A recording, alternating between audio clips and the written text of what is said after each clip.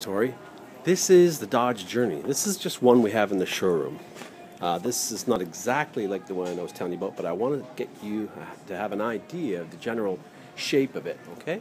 Tell that it doesn't look like an SUV nor a van, well, in my opinion at least, but you can see that it is attractive and it's very good value right now. This one's got fog lights. Um, this one here has got the bucket seats in the front and a big screen there in the center console with navigation.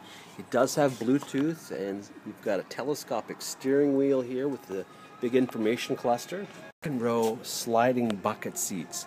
Now they do move up and down to get more legroom. Now I wanted to show you this little compartment on the floor. I'm not sure if you can see that or not, but these bins can be removed. They're little inserts under the floor on the feet of both second row seats. Now, a third person can sit in the middle. I just have the armrest down right now.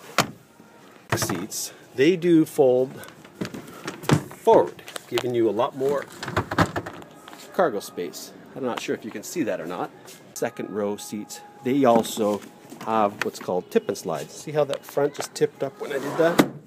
No, I can have free access to go to the back. Fold, fold forward so that you have uh, a lot more flexibility for cargo area. Really good visibility here when you're driving as well. But you do have the backup camera on this model and the rear backup sensors.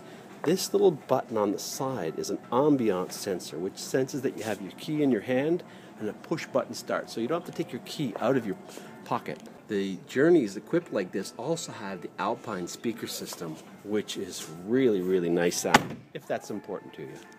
Now, this is the ultimate family value package. It also has a DVD player. It does not have navigation, but you can see this one, for the same price, does have quite a bit more space.